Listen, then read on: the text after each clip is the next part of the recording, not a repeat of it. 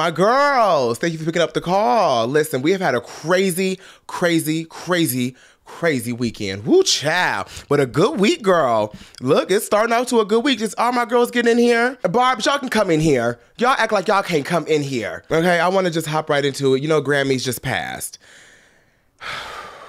Can we talk? Like, can we really talk really quickly, like about the Grammy situation?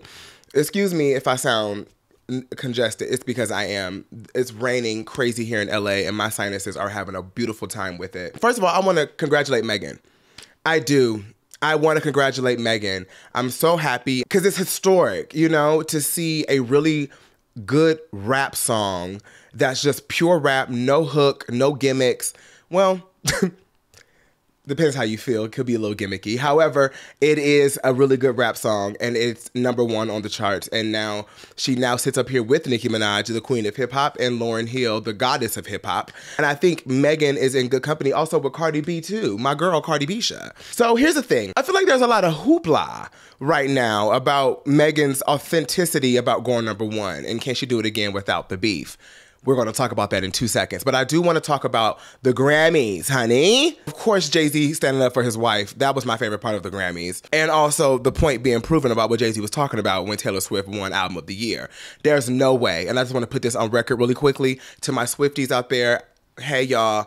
Um, no shade against Taylor Swift at all, but I don't understand how she won Album of the Year. I really just don't because SOS was truly and is truly a album that was a cultural phenomenon that broke any barrier any race, any ethnicity, any sexual orientation. It was just music and everybody was listening to it. And it resonated with a lot of people for different reasons. And I don't like the fact that, not saying that Taylor doesn't deserve her success, do not get me wrong, but to win four album of the years when there's people out there that are making really, really good music, not saying Taylor is not, making really really good music that deserve also those those awards and Beyonce with her not winning because I was like, wait, Harry's House won last year?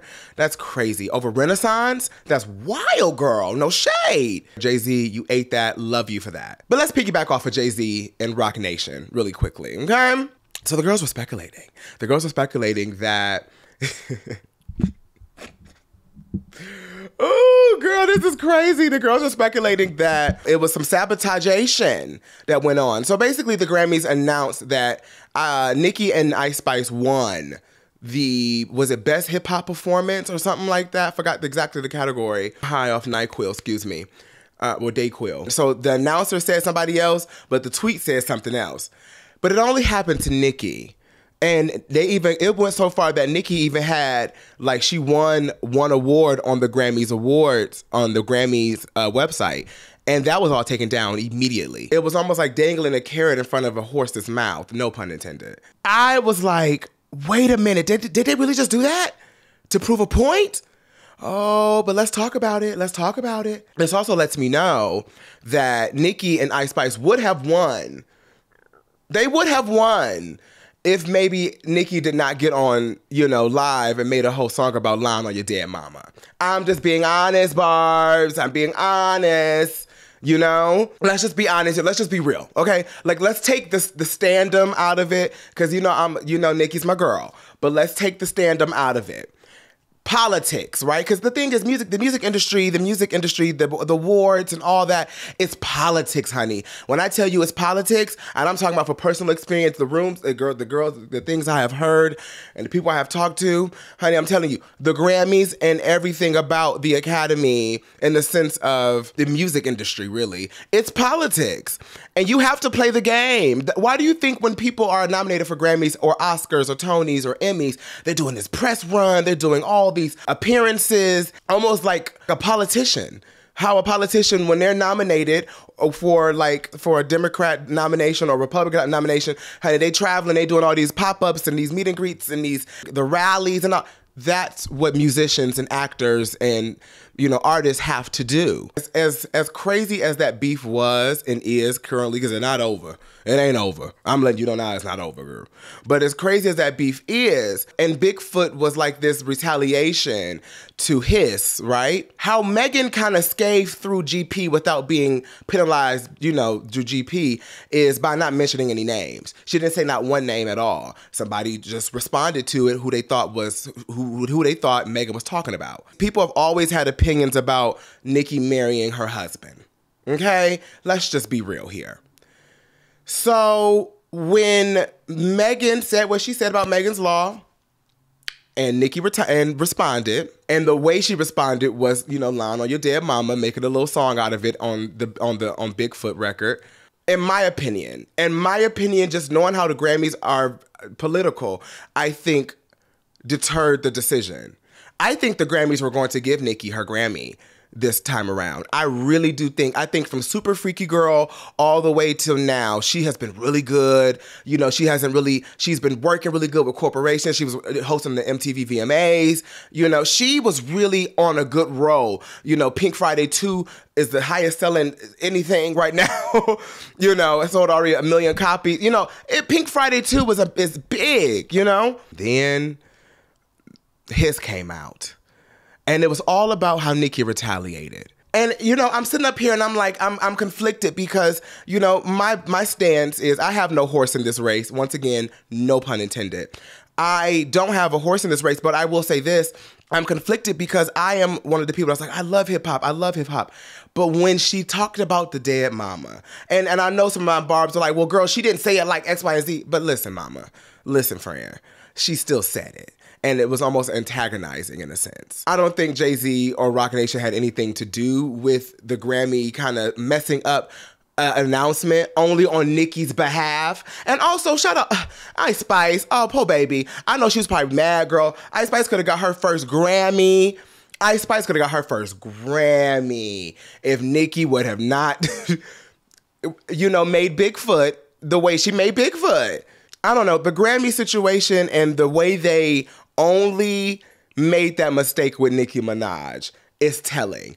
And I know we sit up here and we key on Nicki about her. She on Twitter too much, talking too much. I agree. So I'm actually very happy she's quiet right now and rehearsing for her tour. You do that. Please, mama.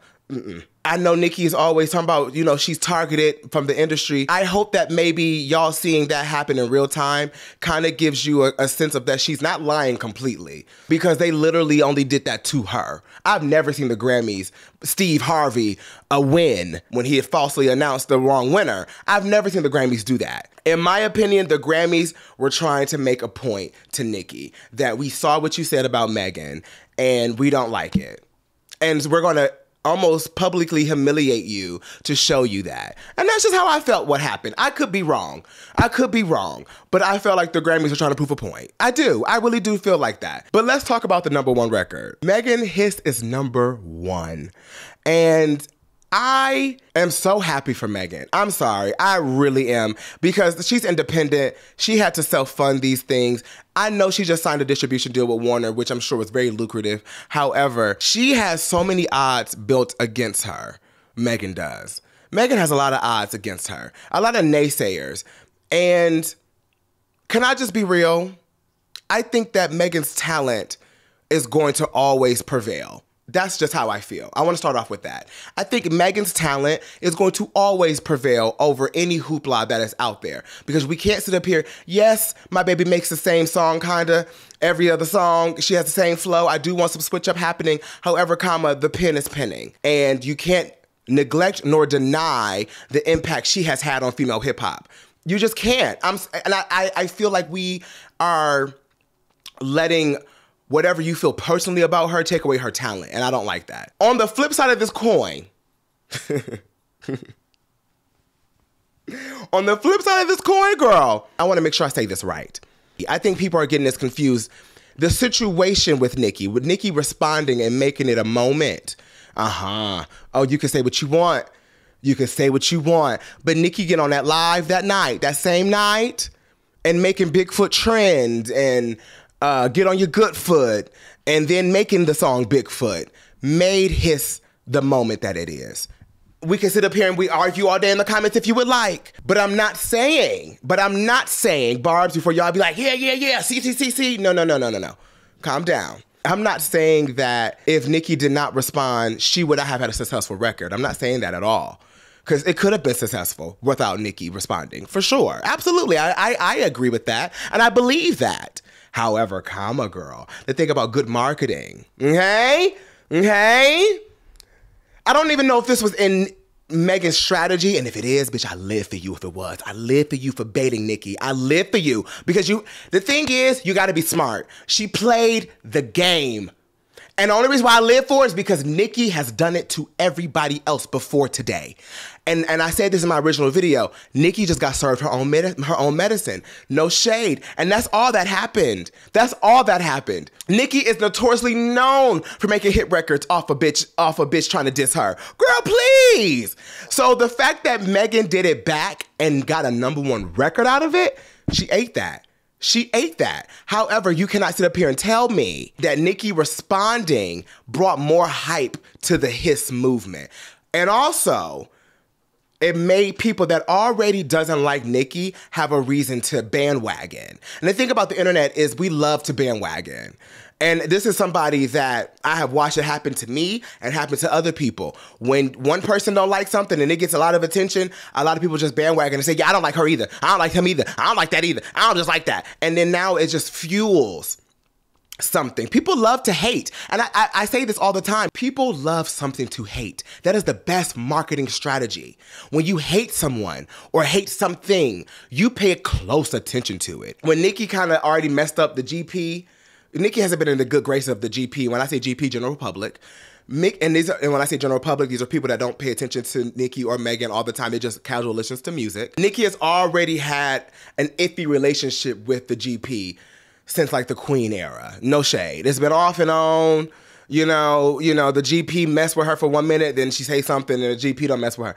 That whole line on your dead mama thing really slid. Really did something to Nicki's public reputation. It really did. You can say you didn't. You can sit up here and, and try to say it didn't, but it did. It really did. Because what it did was push more of people onto Megan's side to be like, you know what? Not even Megan's side. Let me not let me rearrange that. It pushed people more to what Megan had to say on her record. But also let me say this too. It's not only because Nicki responded that it got a lot more hype. It's because and I, and I stand ten toes on this heel. It's because Megan had a fully realized vision already with a full music video, a full rollout, a full concept realized, and then a full song that's hitting. The bars are reading. And it's not all about Nicki Minaj at all, actually. It was really about a lot of other people too, but those other people didn't respond because they know better. Even if Nicki didn't respond, Hiss would have done something. Would have been number one? No, not in my opinion. Not in my opinion. And that's just my opinion. You can have a different opinion. We ain't got to fight. We can still be friends on that opinion. Okay? You know, okay?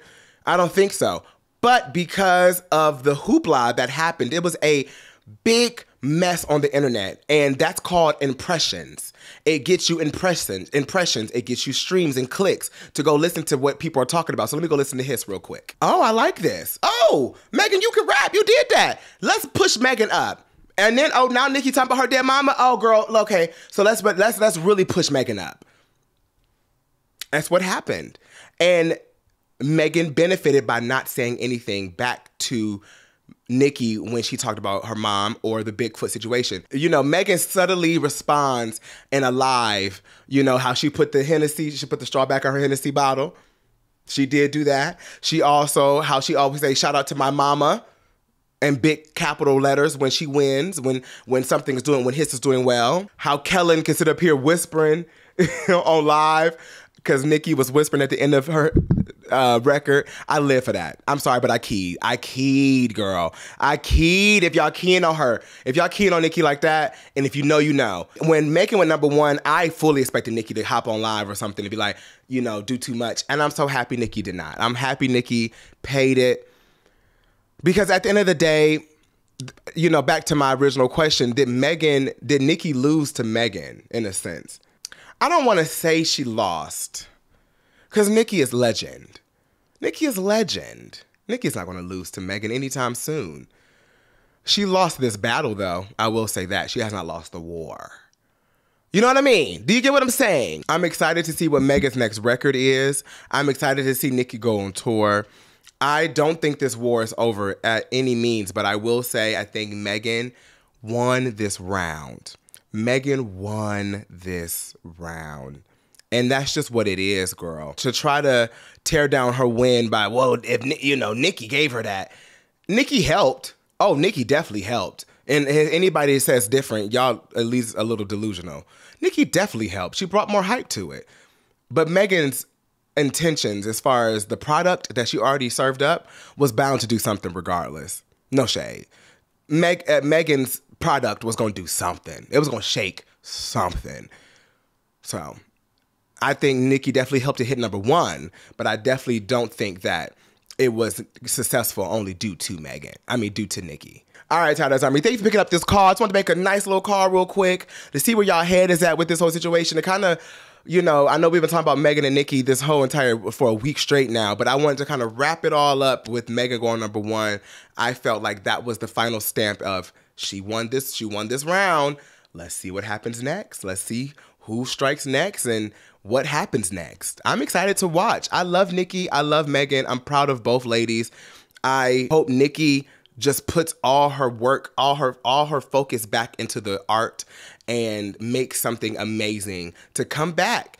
And it don't even have to be a complete shot at Megan. Don't make a full diss record if you don't want to, but I know the subliminals will be there, girl. And Megan may have started a whole trend. You know, Megan is the she's that girl. So it seems like Latto's coming up with her own little diss record girl against Ice Spice on Friday. Should I come back and talk about it? I'm interested to see what that's about, girl. What's that about? Not Latto trying to have her Hiss moment, girl. We shall see. All right, Tyler Zami, I love you, bitch, for picking up my call as always. And woo cha, I'll call y'all back soon. Bye, Arby.